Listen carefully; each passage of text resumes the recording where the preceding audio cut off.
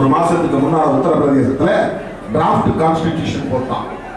முப்பது பேர் கொண்டவர்கள் உருவாக்கி இருக்கிறார்கள் எழுநூறு பக்கம் எழுதி இருக்கிறார்கள் நான் கேட்கிறேன் அரசமைப்பு சட்டம் இருக்கும் போது இன்னொரு கான்ஸ்டிடியூஷன் எழுத வேண்டிய தேவை என்ன? அதுவே அரசமைப்பு சட்டத்திற்கு எதிரானது. அவர்களை கைது செய்ய முடியும். மோடி ஏன் வேடிக்கை பார்க்கிறார்? மோடி கும்பலின் நோக்கம் அதுதான் தோழர்களே. ஆரிய நாடுகளை இங்கே சனாதன சமூக கட்டமைப்பை மறுபடியும் நிறுவ வேண்டும். பார்ப்பனர்களே உயர்ந்தவர்கள் என்கிற எண்ணம் மறுபடியும் இந்த மண்ணில் நிலைக்க வேண்டும். இதை அடித்து நொறுக்கிக் கொண்டிருக்கக்கூடிய ஒரு தேசமாகத்தான் தமிழ் தேசம் இருக்கிறது. தமிழ் மண் இருக்கிறது.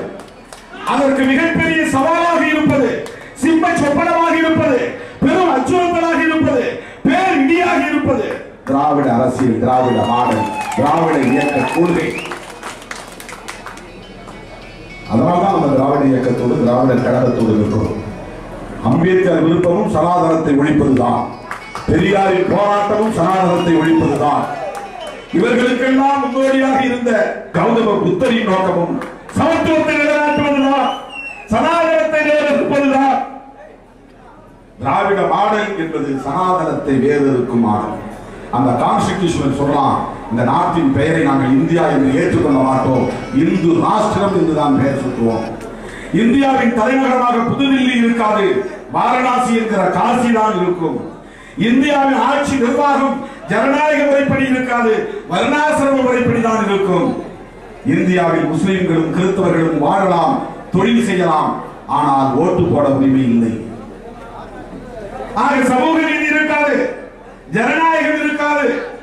சிறுபான்மையினருக்கு பாதுகாப்பு இருக்காது. சமூக நீதியும் சரணாயகம் இல்லை என்றால் நீயும் நானும் என்ன நிலை யோசித்து பாருங்கள்.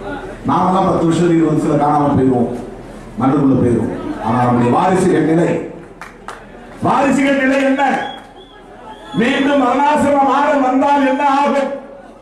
ஆகவேதான் அதை எதிர்த்து போராடக்கூடிய ஒரு பேரியக்கமாக இந்தியாவிலேயே அதை எதிர்த்து இருக்கிற ஒரு பேரியக்கமாக திராவிடர் கழகம் திராவிட முன்னேற்ற கழகமும் எழுபது ஆண்டுகளுக்கு மேலாக களத்தில் நின்று கொண்டிருக்கிறது இது வரலாற்று உண்மை.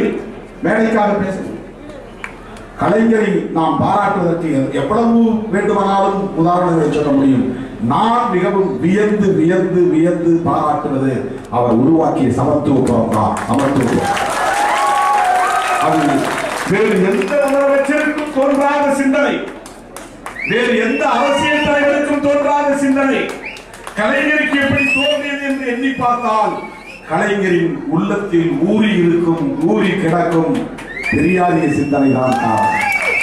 அதனால்தான் அவர் பெரியார் நிலையும் சமத்துவம் ஏன்னா இந்தியா முழுவதும் அக்ரஹாரம் வேறு அது பார்ப்பனர்கள் குடியிருப்பு ஊர் தெரு வேறு சாதி இந்துக்களின் சேரி வேறு தலித் பழங்குடி மக்களின் குடியிருப்பு.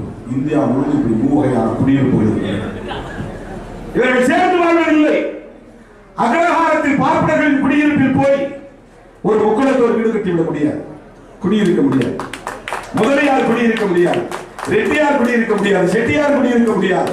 பிள்ளையார் குடியிருக்க முடியாது. அக்ரஹாரத்தில் போய் வீடு எடுக்க முடியுமா?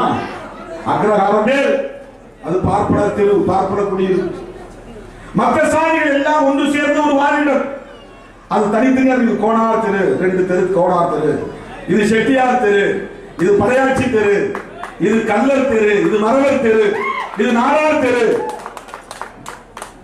அதுல கூட ஒரு வீடு மாறி மாறி இருக்காது. கல்லர் செட்டியார் ரெட்டியார் முதலியார் அஞ்சாவது வீடு பிள்ளைமார் இருக்காது.